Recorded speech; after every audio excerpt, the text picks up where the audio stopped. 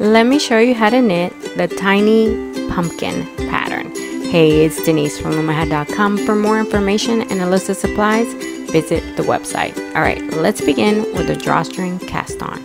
I'm using a 24 peg loom and two strands of worsted weight yarn and I'm going to secure that yarn to the anchor peg with a basic knot. You can do a slip knot if you're more comfortable. Then take the working yarn between the first and last peg and we're going to zigzag with that working yarn through every other peg until we've gone through the whole loom.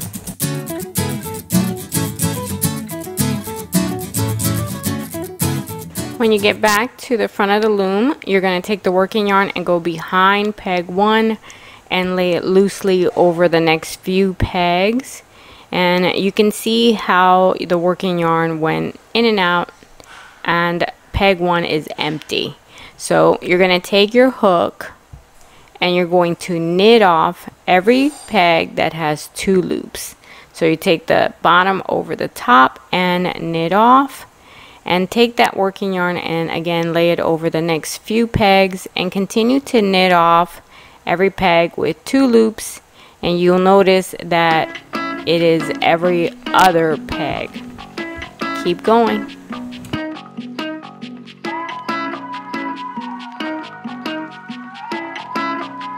When you knit off peg 24, you're done with your cast on and you're ready for row 1 where you're just going to knit the row.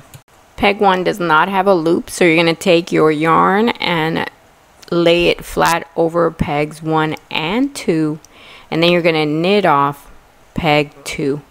And we're using the U-wrap version of the knit stitch, so you half wrap and knit off, and then you're going to your next peg, and you're going to do the same thing. You're going to half wrap the peg and knit off. Now, just continue. You need to knit all of your pegs.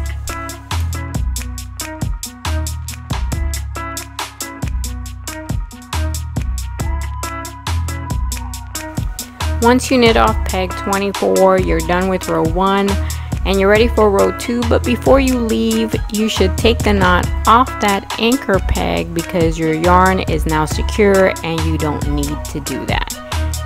Alright, cool. Now we're ready for row 2 where you're going to do a purl 1 knit 3 pattern repeat. To create a purl, just put your yarn underneath the existing loop. From the top, take your hook, scoop up, and create a new loop. Take the old loop off, put the new loop on the peg, and pull your working yarn. That was your purl 1, and here are your three knit stitches. That's one, we're going to do two right here. And again, we're still using the U-wrap version of this knit stitch. And here is the third. That is your four stitch repeat. And so we're going to do it again. Purl one and knit three. And you're going to continue to do this four stitch repeat until the end of your loom.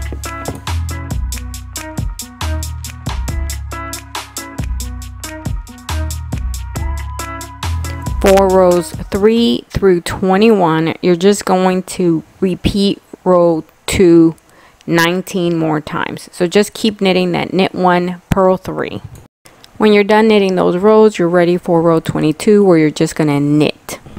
You know that you continue to use the U-wrap version of the knit stitch and I'm not going to go into great detail because at this point you're an expert. Now you're ready for the cast off and so grab your working yarn and you're going to wrap it around your loom about one and a little bit then cut the working yarn and get your hook from the top you're going to scoop up the yarn and feed it through the loop.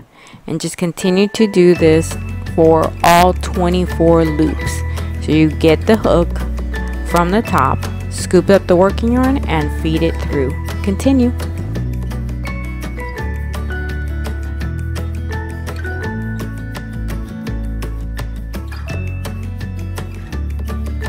When you finish feeding the working yarn through all the loops, then you're ready to take the loops off the pegs.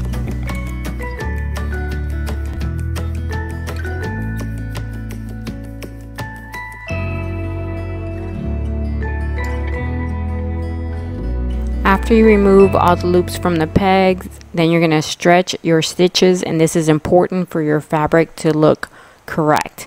Then you're ready to close your ends. So pull on either side. You pull the drawstring in order to close and you have two strands but you're gonna sew with only one.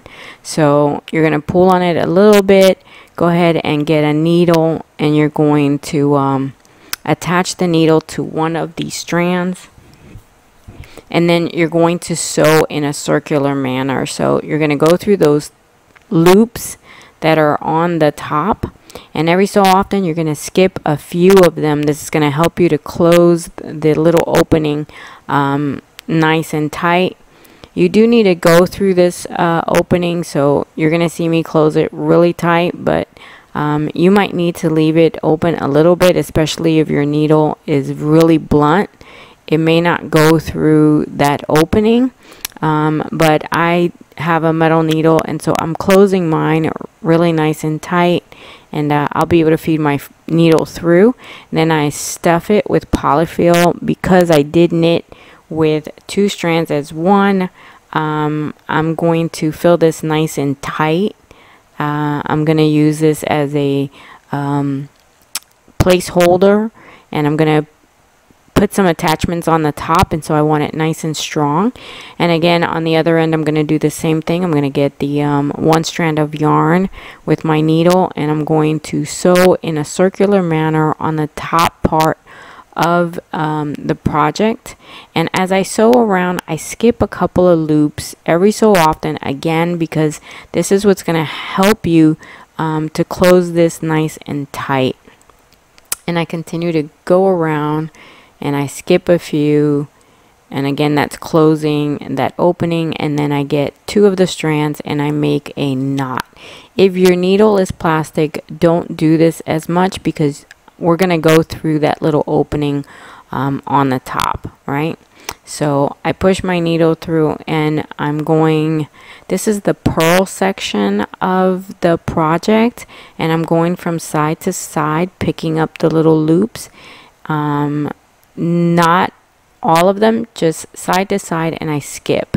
And then I'm gonna go all the way to the top and like I said I'm gonna feed it through the little hole and clear through to the other side to where the other opening was. I'm gonna feed it through and I'm gonna tighten as I do that um, because I'm giving shape to uh, the fabric.